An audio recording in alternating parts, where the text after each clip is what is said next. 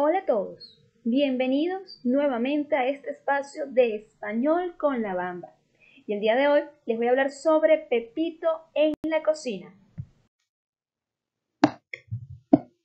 Y hoy vamos a hablar sobre vocabulario de la cocina de Pepito, uso de lo que, uso de artículo lo y Pepito, verbos irregulares en presente, expresión oral de Pepito y ejercicios con verbos irregulares en presente. Y la cocina de Pepito tiene una licuadora para hacer sus famosos jugos, un microondas para calentar las comidas cuando estén frías, una olla para hacer sus comidas, una nevera para enfriar los alimentos, una jarra para echar y servir sus ricos y deliciosos jugos de frutas.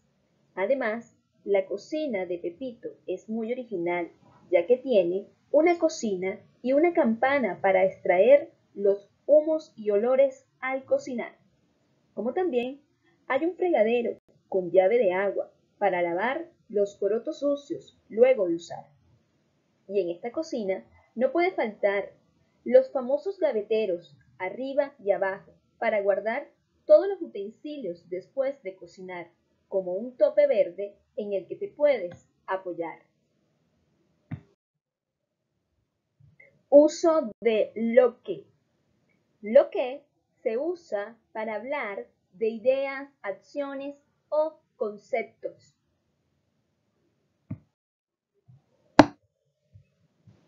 Uso de artículo lo y pepito.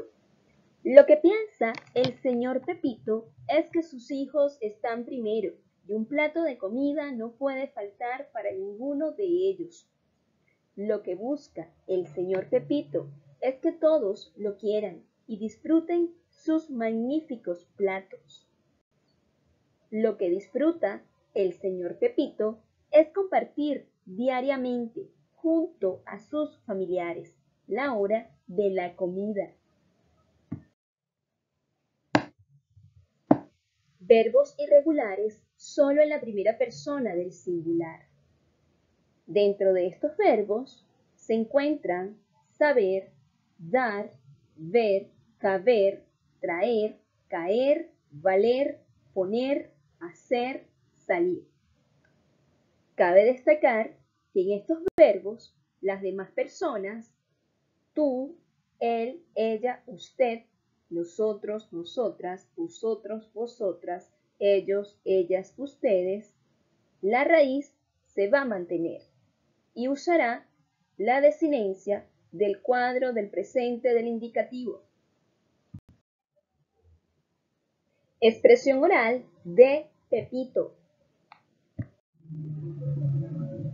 Yo hago un rico pabellón y mis familiares dicen que soy el mejor aunque yo sé que hay otros cocineros como yo, porque los veo en la televisión. Por eso doy un fuerte aplauso a todo cocinero que cocine igual que yo.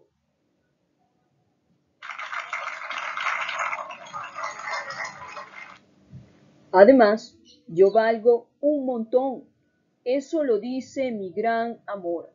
Y traigo el sazón que a mis comidas diarias le pongo con mucho corazón. Por otra parte, a veces salgo de mi hogar y se me olvida que no quepo en el ascensor porque tengo un barrigón. Ja, ja, ja.